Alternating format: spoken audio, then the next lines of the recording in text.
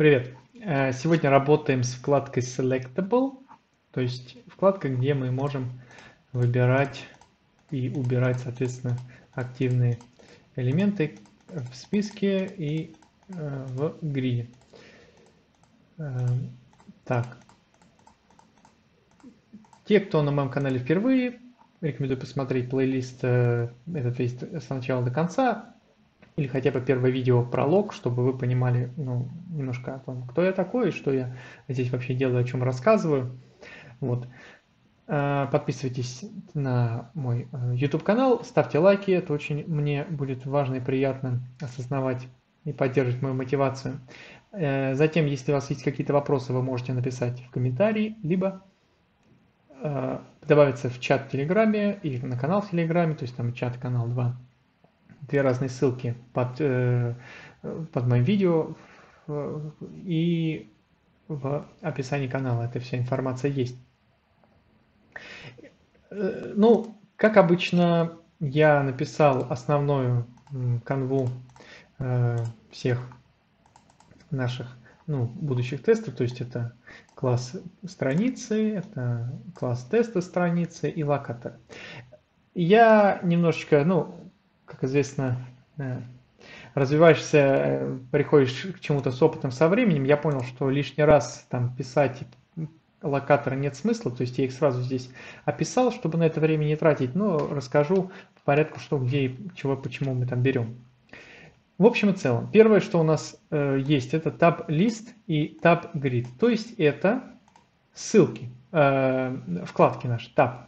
То есть это локаторы для переключения наших вкладок. Ну, соответственно, demo tab list и demo tab grid. Затем list item и list item active. Что это значит? То есть айтемы, которые у нас не активны, которые активны. Посмотрим, есть ли какие-то отличия. Смотрим на вот это название. Видите, что-то изменилось или нет? У нас появился э, такой класс Active. Появляется класс Active. Просто я выделяю локатор, то есть у нас там где класс с Active и класс без Active. Э, как вы видите, здесь просто я выбираю класс, что не является достаточно стабильным. Вы можете добавлять к этому выражению, то есть вот как это может быть. Э, ну, возможно, я сейчас так и исправлю.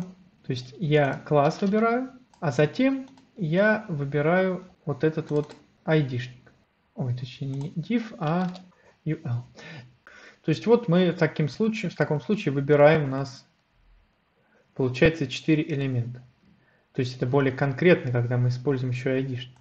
А если мы сделаем active, у нас уже здесь будет 3 элемента, но если я добавлю после групп item слово active, у нас появится вот он наш один элемент тоже конкретно. Ну, давайте так и сделаем. Я добавлю еще э, конкретно айдишники к этим локаторам, для того, чтобы это было более, э, ну, более верно, что ли.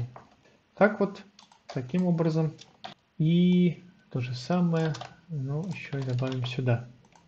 Вот и то же самое э, с grid item. То есть вот у нас также активный и неактивный. И возьмем, что у нас тут есть. Э, к чему лучше подключиться, это вот пусть будет, нет, это вот будет grid контейнер, пусть будет. ID, grid э, контейнер, здесь верно, div ID, ну вот у нас они 8, если есть уберем, будет здесь 9, вот, поэтому здесь мы скопируем, ставим сюда, и то же самое, но только active у нас должен быть.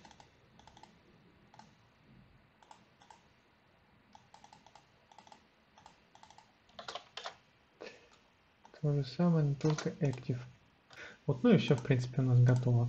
Так, давайте делать тесты. Первое, что нам нужно, это нам нужно сделать клик. Как всегда, мы будем делать случайный клик. То есть, э, ну, в первом случае, вот, точнее, в Sortable мы делали get э, элемент, там получали, делали отдельный, а лист меняли в самом методе. А здесь кликать мы будем по, будет отдельный метод именно по клику. Мы берем item list, э, elements are visible, elements И делаем просто random sample. Сюда указываем item list в количестве одного. То есть один раз все это дело что-то вот э, выбираем. Э, ну, соответственно, этот элемент. И кликаем на э, самый первый элемент вот этого э, массива. Дальше нам нужен select list, select list item, и здесь self element is visible, self cutters, tab list, делаем клик по этой ссылочке, дальше self click selectable element, self cutters list item, далее у нас active элемент self элемент is visible self locators list item active list item active и его текст ну то есть мы будем в принципе э, э, как бы проверять что у нас есть выбранные элементы наверное можно даже сделать можно наверное было бы сделать так что мы э, несколько там сразу кликаем. Но я просто буду кликать на какой-то один, но каждый раз случайный элемент. То есть все время будут разные. Но и здесь мы делаем то же самое, абсолютно то же самое, но я рекомендую вам оптимизировать э, методы таким образом, чтобы повторяющихся строк кода было по минимуму. Вот. Поэтому обязательно исправьте эту, этот момент. Вот.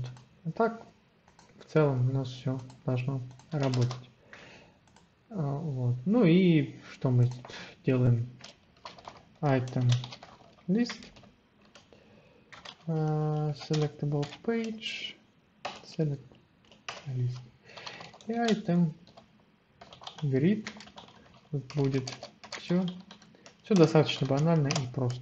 Для проверки как всегда мы все принтанем и посмотрим что из этого получилось и чего нам возможно здесь не хватает. Проверим дважды, если он все пройдет, чтобы мы убедились, что у нас кликается все рандомно. Получил здесь порта as convertible. Извиняюсь, это, видимо, испанский. А это пятерочка. Ну, еще разок проверим.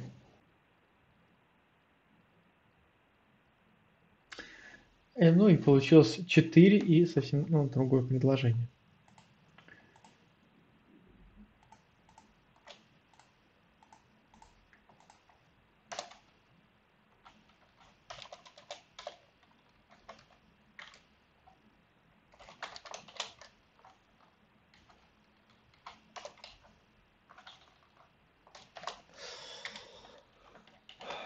Ну длина просто больше нуля. Э, вот. И поэтому, а если это не так, то значит у нас э, элементы не были, ни, никакие элементы не были э, выбраны.